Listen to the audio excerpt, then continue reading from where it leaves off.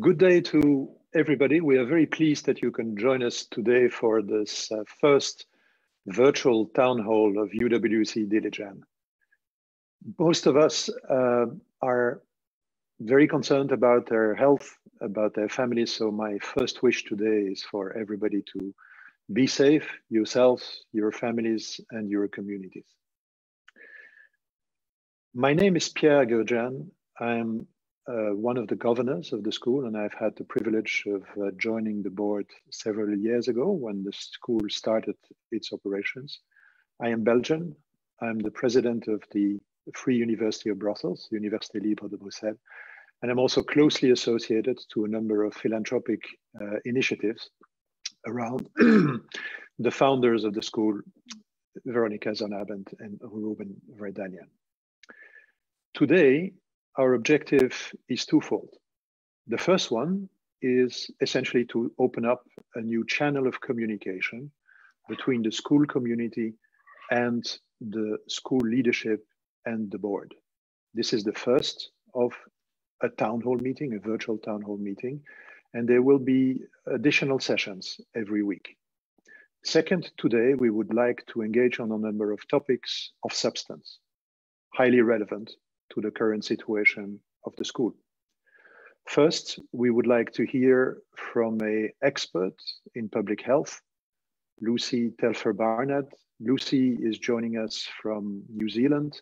She's a distinguished professor and researcher at the University of Otago in Wellington. She is herself a graduate of UWC, Pearson College, if I'm not mistaken, and the proud mother of Phoebe, who graduated from Dilijan last year. Thank you very much, Lucy, for being here. Second, we will turn to the current situation of the school, and particularly all of the measures that have been taken over the last weeks and are still being um, managed by the school leadership. And we will welcome uh, Gabriel, Gabriel Abad, known to everybody as the headmaster of the school, and with his team, extremely engaged in making sure that what is happening now doesn't weaken the school and actually even reinforces the school. Finally, we will turn to the board of governors of the school as ultimate stewards of the future of the school.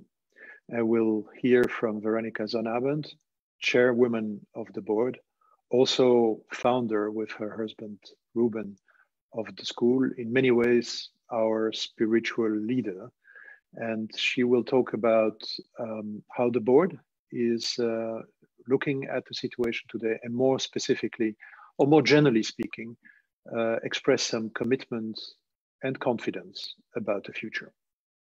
The way we'd like to conduct this session is fairly straightforward.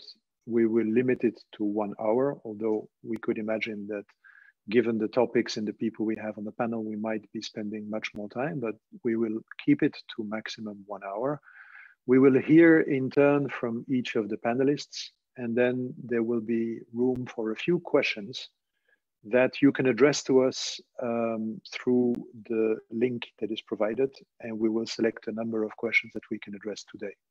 Those questions that will not be addressed will be answered and we'll come back at the end of this session on how you will be able to consult the answers to those questions and of course communicate additional questions if necessary. With this in mind, I would suggest Lucy to give you the floor and speak about uh, the pandemic and how this pandemic is affecting uh, the world of education and perhaps UWC. Thank you very much, Pierre. It's a, a real privilege to be able to, to speak to everyone today. Um, if the sound gets too quiet, please let me know. Just raise a, a hand or something. Um, now, I'm, I thank you for that, that kind introduction. I'm, I'm here to speak as, as an epidemiologist. Um, I've been working in infectious respiratory disease research throughout my public health career, and I'm now part of two working groups advising the New Zealand government on its response to COVID-19. So I'm, I'm well immersed in the topic. But this afternoon, I'm going to start you off with just some brief background on COVID-19 and then talk about the challenge that the virus presents for UWC and education in general. So as you'll be aware, COVID-19 is the name given to a novel coronavirus, which was first passed amongst humans in Hubei province in December last year. Since those first cases, it's now spread to almost every country and has infected well over 2 million people with around 127,000 deaths so far. Coronaviruses are a group of respiratory diseases which include milder illnesses like the common cold and also more severe illnesses like SARS and MERS. When COVID-19 was first identified, it was really easy to think of it as being a very severe and contagious flu, because many of the symptoms are similar, sore throat, a fever, a dry cough. Lots of countries, including my own, had developed plans for pandemics of influenza after the 2007 swine flu pandemic. So they dusted off those plans and, and started to put them in place. One of the first things you do in a serious influenza epidemic is you close schools. Children are very good at spreading flu. They catch it really easily, and then when they're at school together, they spread it amongst themselves. And then they take it home to their families. So in 2007, with the swine flu epidemic, New Zealand's levels um, of swine flu dropped to just back to usual winter flu levels when our winter school holidays started, just as a demonstration of, of why school closures were one of the first things that happened.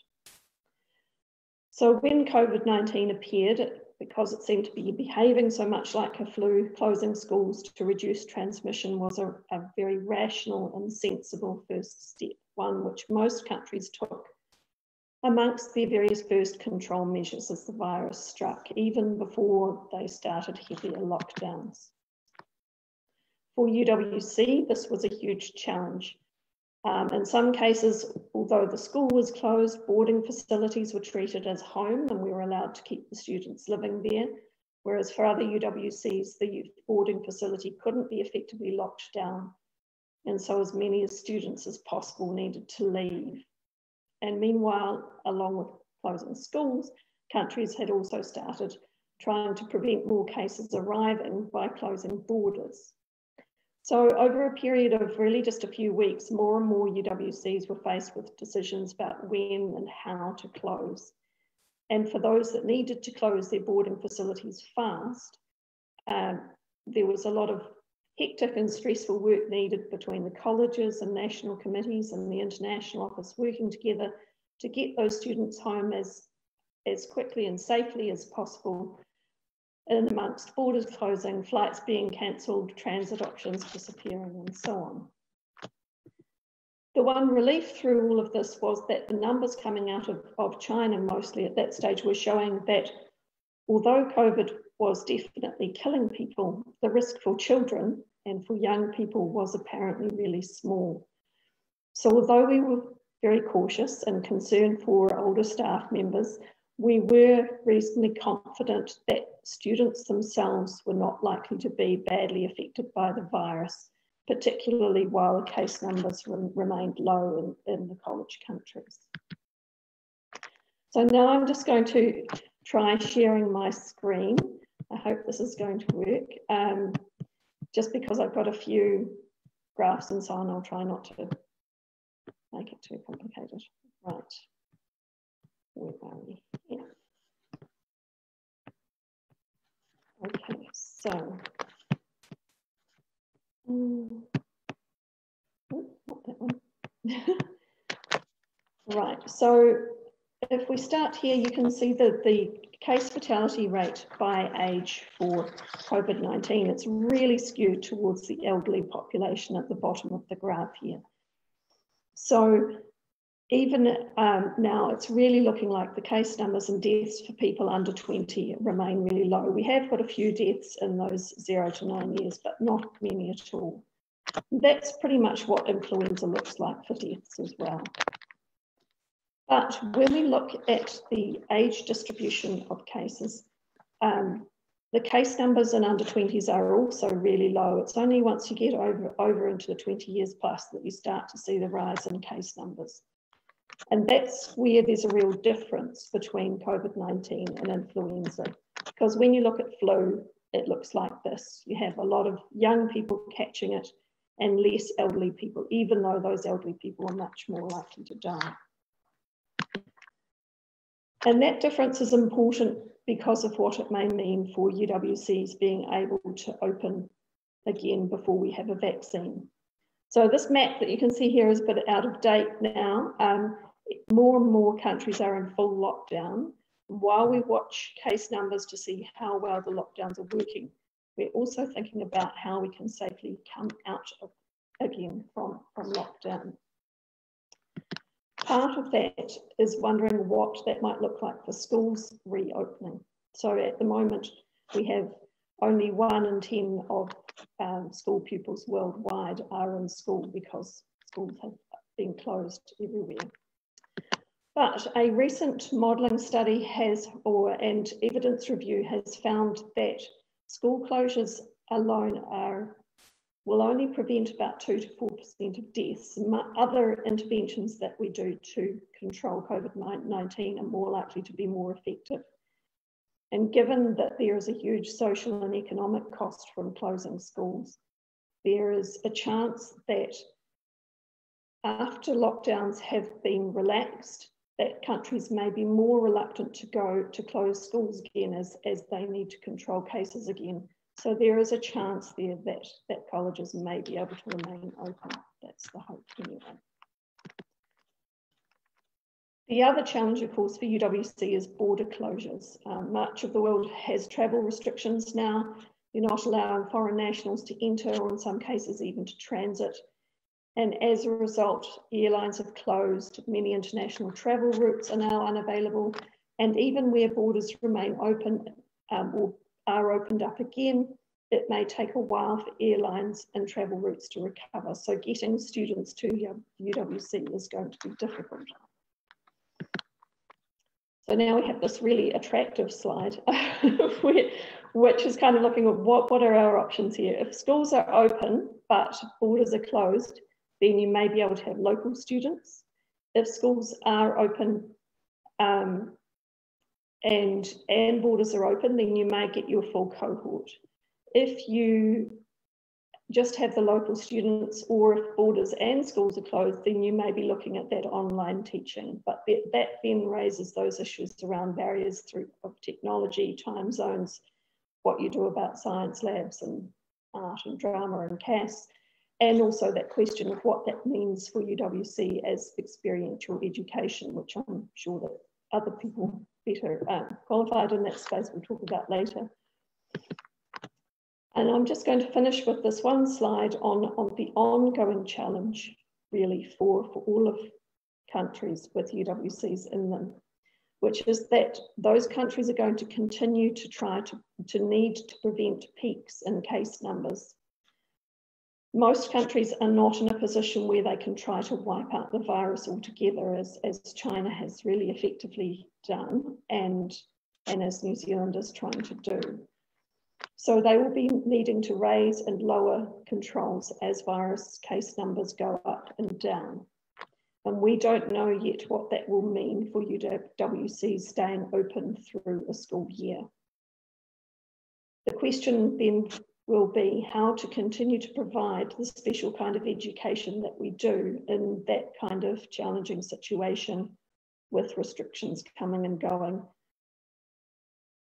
Um, and that seems like probably a good time to pass on to the, the educationalists and the people thinking about how we do that. So I think I'll end there. I'm happy to take some questions first. Thank you very much, Lucy. Uh, very, very clear and very concise presentation. Uh, perhaps a few a few questions that uh, people are uh, suggesting. Um, one, one is actually, I believe, very close to your own area of expertise and research around uh, seasonality and, and, and how this kind of pandemic can or would not be affected by climate and what this would then say around the propagation of the phenomenon. Yes, so uh, with other coronas, the coronaviruses, there is seasonality observed. But we don't know for COVID 19 whether that seasonal effect will be seen or whether there will be some other temperature effect. So perhaps it's less likely in the tropics than in the temperate zones. There isn't enough evidence to say yet. The one thing that I do note is that although influenza is a seasonal illness in general, when the 1918 pandemic came through to the Southern Hemisphere, it arrived in December, which is summer for us, and we still had a devastating epidemic. So we can't rely on season alone to end it. Thank you, Lucy. Another uh, health-inspired question uh, is uh, somebody wondering if, apart from a future vaccine, if there are other ways that people, and, and, and I assume also young people, can improve their uh, immunity uh, towards the virus? Uh, not really, you know, stay healthy, eat good food, get exercise, um, get plenty of sleep. Those are really the, the best things that you can do to, to keep your immunity up. Um, other than that, there is no magic potion, unfortunately. More general question. This is coming from me listening to um, to your story in terms of how the UWC movement is uh, uh, preparing for this. Um, what kind of uh, expertise is the movement uh, being able to leverage and are you yourself involved in helping UWC think about these phenomena? Yes, so the International Office um, has a, a, group that are providing strategic advice and then it has a subgroup of uh, epidemiologists and, and, doctors, which myself and um, Professor Kike Bassat of Barcelona and also Dr. Marina Macchiaola of Italy. And so we consult with each other on, on the advice that we provide to the International Office on the health aspects of, of the pandemic and what that means for schools. Good, that is reassuring. Here's another very uh, specific health related question, which I'm just throwing to you. Somebody wondering um, about the, the time that would be needed to develop famous uh, herd immunity or collective immunity for, to, to the virus? Unknown, I think, is, is the, um, the first matter. At that, that last slide that I showed where, where you have that little up and down curve, that is really, that will eventually get you to herd immunity, but no one's really looked at how long that will take. Uh, there are questions around what percentage of the population needs to be immune. There, initially, we thought it was about 60%, but that was assuming a particular level of contagiousness. Uh, there is some modelling coming out of the US that suggests that it might be much more contagious, which means that you might need up to 80% of the population to be immune, and that then stretches out how long it takes to get there. But, um, but you don't want to get there fast, or it means that lots of people have died. That's the real. Thank you very much, Lucy. I will perhaps suggest now that we turn to Gabriel. And if we have some time, we'll come back to, to you and thank you very much um, for already having provided this perspective. You're welcome, and I'm happy to contribute answers to the, the questions for the um, website as well. Thank you, much appreciated. Thank you very much, Lucy. Gabriel, can you speak about how the last few weeks have been, what has been done, what keeps you awake at night? um, well, first of all, I would like to start by thanking the college community, in particular the UWC staff, but not only that, the local authorities in Dilijan, the Armenian government, the diplomatic representations in Armenia and beyond that were instrumental in supporting us in dealing with a crisis that obviously no one was expecting. Um, when it became clear that COVID was going to become something well beyond China and that was going to go global, we started to prepare scenarios of what if, what happens if it comes to Armenia, what happens if it comes to Dilijan, what happens if it comes on campus. And we reached a point in which it became clear that we needed to de-densify the campus. We needed to have less students on campus so that if we became affected, we could support people with social distancing. We had already beefed up our clinic adding 17 additional beds in a separate space so we could contain. But we reached a point in which unfortunately we had to ask our first year students to go back home, hoping that we would be able to continue supporting our second years on campus on a much more diffuse campus, having the number of students in the rooms and so on. In order to do that, first thing we did is we organized the fastest graduation in the history of UWC Dilijan. In 20 hours, we set up the graduation of a class of 2020, which was, as you can imagine, quite emotional because we finished graduation and we had buses outside already prepared to start shuttling students to Zvartnots Airport. So that was a very tough time for the community in the sense that many students saw their experience in Dilijan cut short by months. There were lots of uncertainty. And in a matter of days, it became clear that we would not even be able to support our second year students, irrespective of what happened. It was a time of uncertainty. What's going to happen with my exam? What's going to happen with my life? I don't have a flight. And we always put care at the forefront of what we do. The exams were secondary. By then, we were quite sure that the IB would cancel the IB exams because we had been working with the IB for weeks as a UWC movement, working very closely with them. And it became clear that even if the exams were to take place, they were totally secondary. So our Operation Exodus meant that we moved 191 students in less than one week to over 60 countries all over the world. And once again, I want to thank my team for walking the extra mile. In some cases, I would say driving the extra mile. We had two staff members who drove 18 hours nonstop from Dilijan to the Iranian border to deliver one of our students to the family at the other side of the Iranian border because it was the only safe way to do so. But we did that because of primary duties, a duty of care to the students that are entrusted to us. By the end of Operation Exodus, we had 35 students on campus who couldn't go home because the countries were no longer accepting nationals, because we couldn't get them flights. We had a direct line with airlines and the airport in Armenia, and we were seeing the flights disappear slowly. So it was fantastic to be able to get 191 students. We had cancellation, change of tickets. We had teams in different cities all over the world, making sure that students connected. So in, in that sense, I have to also thank our fellow UWC national committees, our parents, our alumni who were instrumental in helping us, making sure that most of our students could be safely back home with the families. As soon as we completed that, we moved to the second phase, which is that priority is done. How do we support now students, whether they are on or off campus? And we knew from the beginning that we wanted to support all needs. So we took two weeks to prepare a transition to a full online program for all of our students, including psychological and emotional support with individual appointments with our two psychologists and a university and careers advisor. So our students are being supported in all areas. They're missing the residential life experience that they would have on campus, but everything else, we're trying to do everything we can to make sure that they have the best possible experience.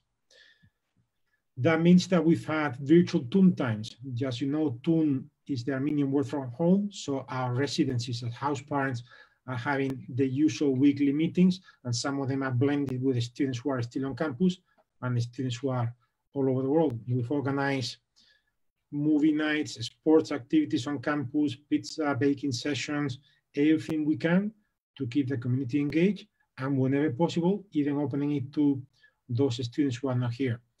If you were able to visit a canteen right now, you would be surprised at seeing multiple students with different mobile phones playing the same song that they're singing to with their peers who are all over the world, and they're using apps to have the same house party, the same experience of being celebrating together.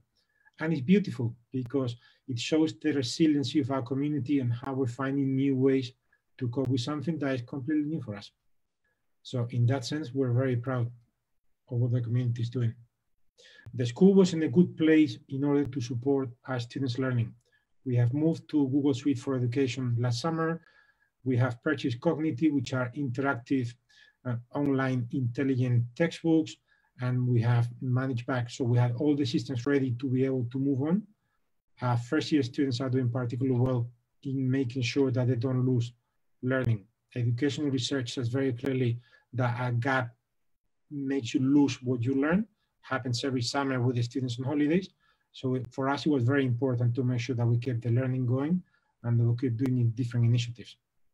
For our second year students, it's different. Suddenly got the message, there's no exams. There were celebrations and fireworks in cities all over the world with second year students seeing the light. They went from total drama to total exhilaration. But the truth is there's still things that need to be done. Today is the deadline for submission of a lot of coursework to the IB. We had to make sure that that's done properly. Some students had to complete things like the art exhibition, which we're hosting on campus and virtually. The students had to do things like the performance for solos in theater arts. So our priority with the second years has been to make sure that they complete everything they need in order for the IB to be able to assess the work and then provide them with a diploma and a grade at the end. After that, we would like to find, to take this as an opportunity to do some learning that is not constrained by IB requirements. So we're exploring some kind of project-based approach to the last weeks of the school so the students can do a project that could be COVID. It could be, I'm passionate about economics and art. I want to look at representations of COVID in art and the impact on economy. And it can be individual, it can be in groups. We're even exploring whether we can do it with other peers in other UWC schools and colleges to make this something more interesting. Um, the question is, so what's happening now? What's going to happen next? And I'm pretty sure that all of us are looking for crystal balls in Amazon or wherever we can. The truth is there's no certainty on what to do next. So we've been very active. We've been working with our board here in Dilijan for over two weeks now in working groups, preparing different scenarios and different contingency plans. We've been working with the IB, with our fellow UWC schools and colleges. We've been working with the Council of International Schools and looking at what other schools are doing and even universities. Some of you may have seen that Boston University this week started to drop the idea that students may not be able to go back to campuses until January. And at the moment, we need to say may, might, because there's no certainty. But I want to send a very clear message to our whole community. The college is here for every one of our students and we'll do everything we have to do to make sure that they are supported. We may not be able to give you a clear answer today on whether the campus gates will be open in August or October, or will it be January 21? But whatever it is, we'll have the back of our students and we'll have a plan to be able to support them at all levels, educationally, emotionally, with the university applications, and anything else they may need. And talking about students, I think it's a good time to invite Zach, who's one of our core representatives for the Student Council. I've invited him so he can deliver a message on behalf of the students. Thank you, Gabriel. Hello, everyone. A month ago today, our school community began the painful process of saying early goodbyes as students prepared to make their way home in light of extraordinary circumstances. In the month that has passed, what has transpired has made us students lend ourselves to reflection. Reflection, which I believe has enriched our understanding of what makes our school the tight knit community that it is. The sudden loss of proximity meant that attachment was more evident than ever we asked ourselves how we were going to foster a sense of togetherness as we had throughout the year in a time of social distancing. We're grateful that, in spite of this distance, the necessary measures to maintain the profound bonds that we have were taken. With our guidance counselor and student peer listeners always available, along with the virtual TUN times that Gabriel mentioned, sustaining this unity has been at the forefront of this transition. This focus on well being has been imperative to the shift to an online learning program by far, the greatest difficulty that we as students face is finding the motivation to perform in these trying times. Adjustment to this abrupt change in routine is made even more difficult once we consider all the logistical challenges that come with the already demanding workload. These include time differences, restrictions in movement, and limited face to face interaction that we have become so accustomed to. In this sense, the feedback system between administration and the student body is more important than ever not only for our academic success, but also for the protection of our mental health. Having gone through a trial period over these past two weeks, we believe that we will continuously improve the way this is executed, as the administration has been proactive in soliciting student suggestions. The challenges posed by this pandemic have only highlighted our resilience, the resilience of faculty who work to preserve our learning experience, the, the resilience of staff who care for those who remain on campus, the resilience of our graduating class who in spite of the cancellation of IB exams, continue to commit themselves to their learning, and the resilience of incoming second years who now more than ever are determined to uphold our values. Thank you.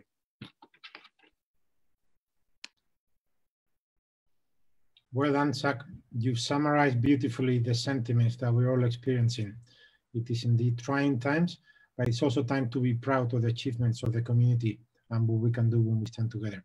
As head of college, I'm very proud of you, all of our students and our staff. Thank you. Thank you, Gabriel. Thank you, Zach. Very impressive uh, testimonial, Zach. Uh, Gabriel, many questions, of course, arise. And as you said, there is a lot of uncertainty, so no definite answer can be given today. But maybe a few angles in this, and maybe you can share what what is known and and and, and also uh, just acknowledge that mm -hmm. things uh, are, are, not clear. Uh, a question around the online education, how does it work? Zach was uh, highlighting a number of challenges that go with that. How are we addressing that and how are we learning from it? Well, the first challenge is when you have students across all different time zones.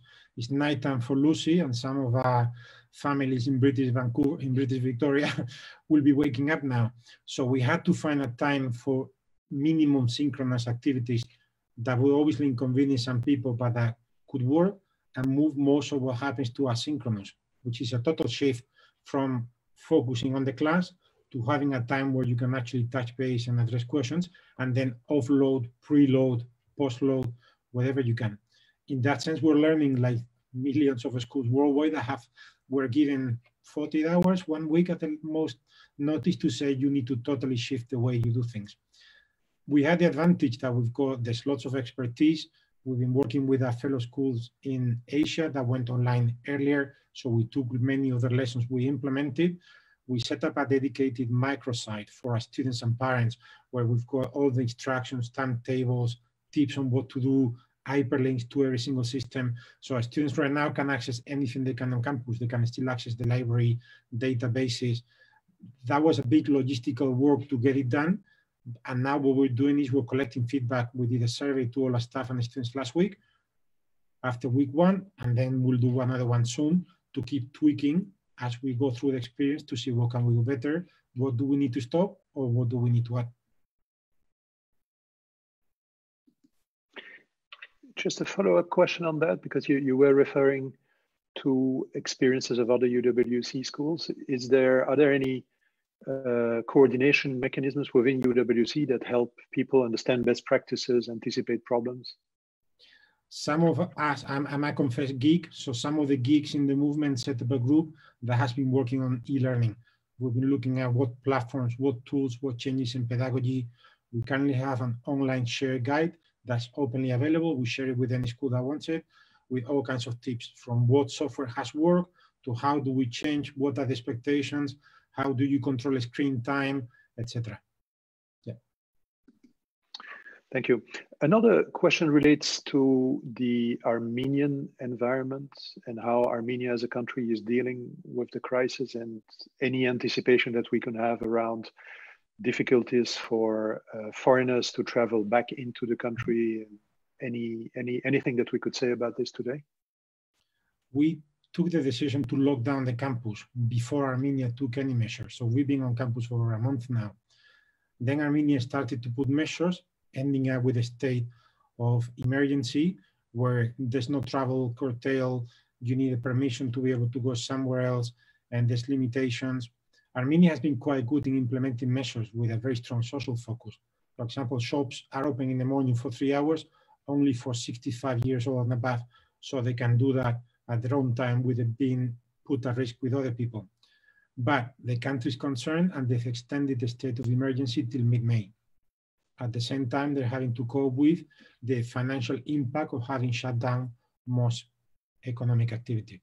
So like every other country right now, they're trying to find a balance of what can we reopen without suddenly having a spike that will damage our society. In terms of how does that impact the college? As of now, we know that the college will continue closed as it is with online activities and supporting the 35 students on campus. But we have limitations. Example, there cannot be more than 20 people in one room at any given time. So even if we do an activity, we sometimes we have to do two parallel because we cannot have the whole community in one go. Looking forward, we're in close contact with the government to see, but right now they're considering all the scenarios. I'll give you an example. China and Armenia had signed a deal for no visa, a reciprocal arrangement, and that lasted days before it had to be canceled because it coincided with the explosion of COVID. As of now, there's no indication from the Ministry of Foreign Affairs on what measures they'll start to put. So what we're doing is we're considering plans. Do we need to quarantine people as they come back? Do we need to change the way we apply for visas? We're just preparing all of those because we don't know which one will be the case. And I, I assume we are in close contact with the government on this, and I assume they also acknowledge the very special character that we have given the diversity of nationalities. We are, because sometimes we present them with cases that they haven't even considered because it never happened to them. A student who is a refugee in a country that has no Armenian embassy trying to come to study in Armenia, the two countries have not even recognized each other. How do you do it? So I would like to see the faces of some of the civil servants in Yerevan when they receive some of our letters. I think it could be quite entertaining. Thank you, Gabriel. Here's another question um, from somebody wondering if uh, among the contingency plans for the future, there would be a possibility for students to transfer between UWC schools to take into account travel restrictions? That's something that the UWC heads have been discussing since February when we didn't know which way this was going to go. Transfers are not as easy as they may seem because different schools have different subjects. And sometimes even if you have the same subject, the history that is taught here in Dilijan is not the same history that students may be studying in ISAK, Japan. But as a movement, we have commitment is pretty clear. We will support all of our students and we'll find ways to make it work. So we will consider whatever we can do.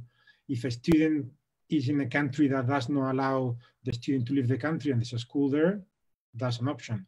If a student cannot go back to the country where they were studying but another country has a no visa deal and we can make it work, we will certainly look into that. Thank you, Gabriel. One last question, and then we'll shift to Veronica. Uh, around universities, anything that we could say now, how universities reacting in university admissions? Our students, as you can imagine, second year students were panicking when we locked down the campus, was going to happen? Will there be exams? Not some universities have been very proactive in contacting students saying, whatever happens with the IB, we'll make you an offer and we'll honor the offer. And here I think that the most important thing is that we need to realize that many universities consider our UWC graduates as very, very special.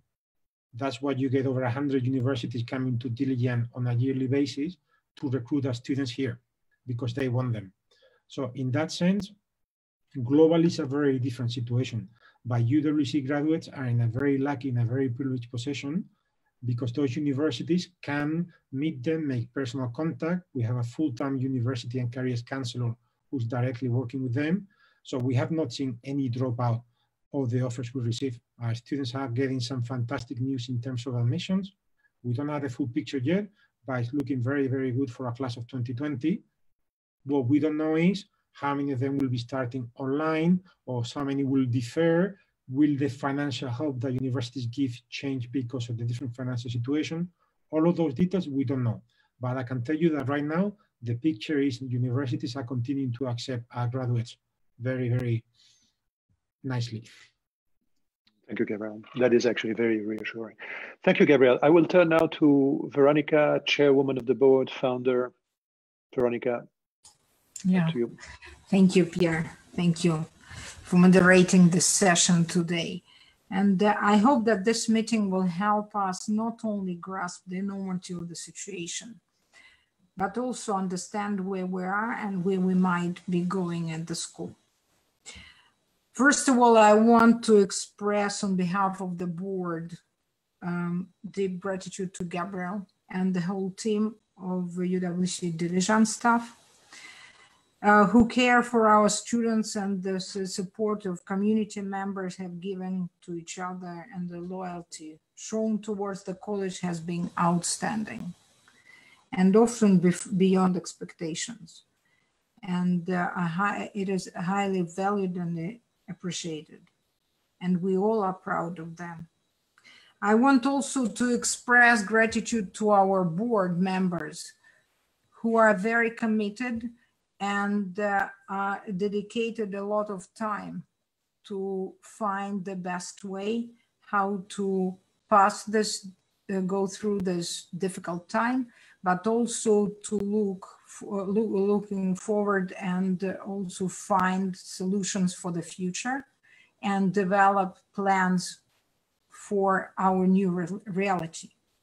And we, uh, we understand that only being together, all together with the board, team, parents, students, we can uh, go through and then thrive. I would like to say that we all should, there all decisions that were developed, we uh, go from, from uh, understanding that the world will not, uh, will not come back to pre-COVID situation. We have to accept that we will come, the norm that we used to consider as the norm will not come back and there it will be new norm. And the second that it is their um, uncertainty also is part of this new norm. So we have to accept this, that uncertainty is the new reality and we have to develop, develop in ourselves new skills of being resilient, adaptive, and also look at this as the opportunity rather than threat. So that on the 25th, on the 28th of March, the board uh, um, uh, met to discuss crisis response strategies. And I want to um, update you on that so that our priority as the community is safety and the quality of education uh, that we provide and we all accept it. Although UWCD relies on strong fundamentals, there is uh, much work ahead for us to, uh, to do and, there, and to, to develop best conditions as possible. And the board is working with the college leadership team to anticipate possible contingency plans and develop scenarios what will happen next year and beyond. With the leadership team, the board creating, uh, creating, created working groups that will prepare analysis and the plans in four different areas, areas capacity building, sustainability, fundraising, and communications. The board will convene again on the 25th of April to review the work prepared by the different working groups and confirm the uh, preferred scenario and prepare the course of action for the college future. And uh, I want also uh, to pay attention that all this work uh, we do together, as we see in there, this um, crisis time also allowed us and uh, made us even closer than before. And uh, we all uh, understand that only through joint actions, the board and the college community shall be able to build up resilience for sustainable future. But talking also about sustainability, I want to express special thanks to the school supporters those who contribute to the schools financially allow the school to be really diverse community and have a diverse student body uh, where students is accepted on merit and not on ability of the family to afford tuition fee, though we try to make to do quite tough financial assessment over ability of the families to give more opportunities to uh, the students whose families are unable to financially contribute. And uh, I should uh, say that in 2019-2020, uh, fifth anniversary year, we have been running a special campaign for scholarships with the goal of raising $5 million. And we almost fulfilled this plan. And there also again, thank you to our supporters. So we still uh, see that almost all commitments would be fulfilled. We have to raise another 400,000 and we hope that we will complete the plan by the end of May. And there also, I want to say that board and the founders are deeply committed to the college and its community working hard to ensure a sustainable and exciting future in, in which the college will continue to prosper and make a difference in the lives of many and thus of the world. And there, uh, it is important to emphasize that this hard time was a very good test for our values and also values over, uh, over high quality and their uh, human values and their uh, strong values of the community, of the supporters, of the parents. When we stand shoulder to shoulder and are resilient to and believe in uh, prosperous future and they are ready for to meet this hard time and they're also coming back to initial, uh, so the mission and vision when the college was created. We had this dream, which seemed to be unrealistic at there. At that time, it was about 10 years ago, to create an international school in, in Armenia. And the idea was to open Armenia to the world and bring world to Armenia. And uh, now we see that uh, values that are uh, uh, deeply rooted in Armenia, respect for knowledge and the importance of uh, family strong values. When people care about each other and we witness at the in Dilijan what happened during crisis time that the whole school community showed itself as the caring family where interests and the safety of each child is a priority.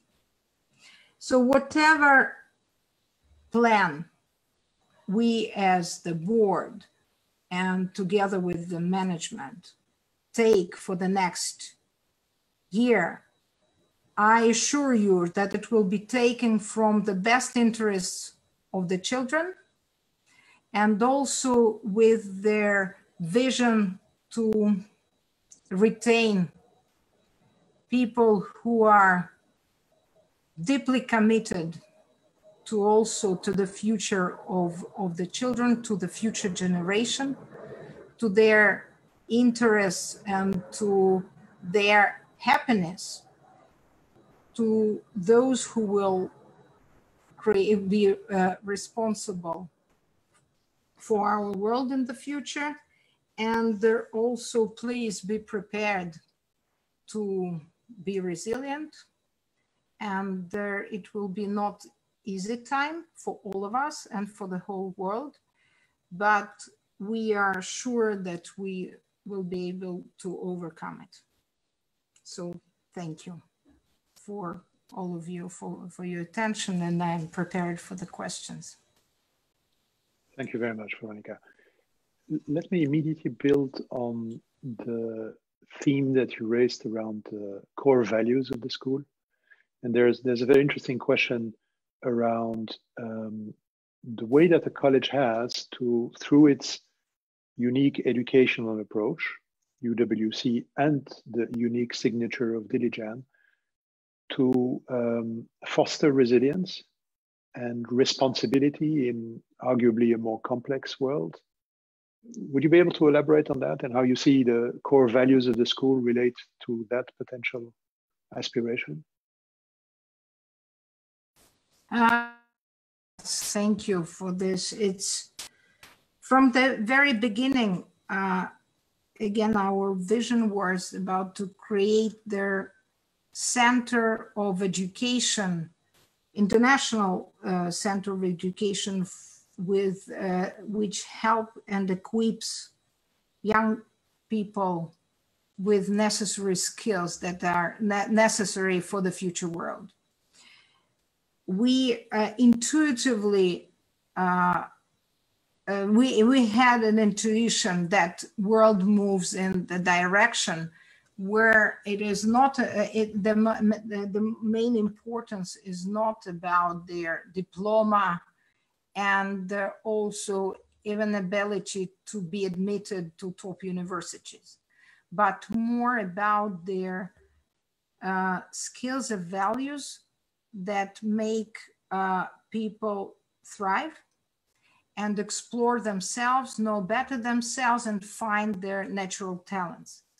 So then, for the future, we believe that they're uh, what we can nurture in Dilijan very well, that uh, one of the programs that we have in mind and hope to be able to develop, which in collaboration with the Aurora Humanitarian Initiatives, it's humanitarianism, that every leader of the future should have, first of all, high human, uh, human values, and also to develop creative creativity.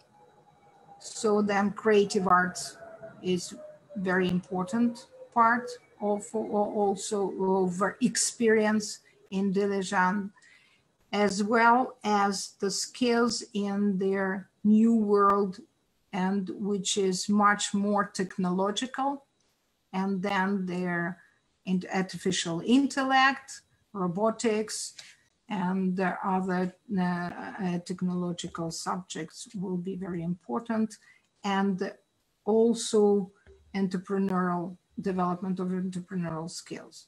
So that this all these topics are in discussion now within the board together with uh, uh, the head of the college and the uh, um, senior leaders of the college and we believe that in a sense, crisis will help us to start to experiment, pilot the programs even quicker.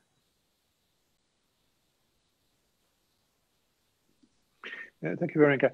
Can, can, can, I perhaps suggest that you elaborate a bit more on, I guess, the, the tension that any organization is dealing with uh, when when a sudden crisis is hitting. And that's a tension between preserving the existing and building something new. And as you say, you know, a crisis always uh, opens up new opportunities. At the same time, crisis is severely testing the resilience of what is existing. And, and that's a topic, how to manage this tension between preservation and renewal. Any, any thoughts you would like to share on that? Oh, yes, it's very complicated and challenging uh, task. And it's always their um, question of uh, where is the between stability and openness to new opportunities. Yes, now we are in the situation that we have to be resilient and understand that uh, the new reality and also at least the reality of the next two years will be less comfortable for all of us. So we used to live within like experience of maybe last 10, 20 years where uh, the one that people in uh, in many areas were um, not, we, we have to be all, all their all, all their communities will be stretched. So we have to be prepared to take more responsibilities and maybe with sometimes less uh, uh, uh, with uh, with less benefits that we used to have and what we try to develop and what what our thinking within the board is to find this core that we want to retain and believe that it's very important to keep. And as I mentioned before, to retain the most committed people. And the core is about their care about the future and the interests of the uh, uh, um, uh, of the future of or, or, interest of the students of young people. And they're based on this strong platform to build to experiment and build new uh, uh, new innovative programs and instruments and the balance it, it is essential to to have balance between it because also being a parent and also having kids in boarding school uh, as well here's the parents care and their uh, worry about safetyness and about uh, comfort of your child. And at the same time we have to prepare them to go out of comfort zone because their progress is impossible without uh, is impossible if you are not prepared for that for that. So we now we try to find the right balance in it. And uh, hopefully after 25th we will have more clarity about the way we want and the scenario we choose for the next year. But also staying flexible enough for some, because nobody knows. As Gabriel told, crystal ball doesn't exist and we don't know what what to expect and nobody knows about their near, especially nearest future. Thank you, Veronica. I see that we're almost reaching the hour. I would like um, perhaps to close by repeating the deep appreciation we have for your presence as participants to this town hall. The school can only be as good as the support that it gets from the wider community alumni, parents, friends, UWC, friends, board members. So we're deeply appreciate it for your presence, for your questions, for your challenges, and the deep um, commitment we have to continue this engagement. I would like, again, uh, as Veronica said, to extend a very warm appreciation as well to the school uh, leadership team and all the teachers and all the staff members who have made uh, who have made possible the extraordinary response to the crisis and recognizing the recognizing the hard work that is now being being done. As Veronica was saying, the board is uh, in a high mobilization mode. I think the board is meeting online two or three times a week at this moment in a spirit of um, taking advantage of perhaps a very challenging moment, but a moment that will be defining in terms of an extraordinary future for the school. Lucy, thank you for having beamed in from far away New Zealand. Uh, i saw that you were able to answer a number of scientific questions while the session was uh, ongoing. We hope that we can continue to rely on your scientific support and, of course, parental uh, support as a parent of one of our alumni. Gabriel, I'm going to give you the last words if you would want to uh, express any closing thoughts and perhaps a very practical point as well pointing our participants for today to uh, concrete sources of information and points of contact. There are many questions that have been expressed that we have not been able to answer, some of them highly specific. And so perhaps last words to you. So first, thank you all. Thank you, Pierre. Thank you, Veronica. Thank you, Lucy. What we'll do is we will contact every person who registered and sending a link to the microsite we created specifically for the crisis in which we will inbuild the video for the session and we'll do an FAQ. So any question that we didn't have a chance to address, we'll list them there and address the answers. We'll also put there the head email address, head at uwcdilijan.am that you can use to contact us anytime.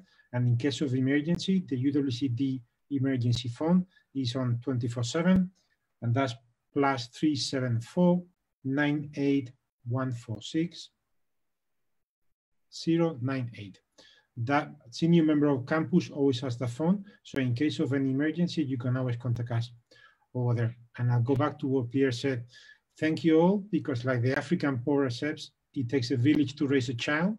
So to raise a village of 226 teenagers takes a much bigger village. So thank you. Thank you. Thank you very much. Be safe and let's talk soon. Thank you.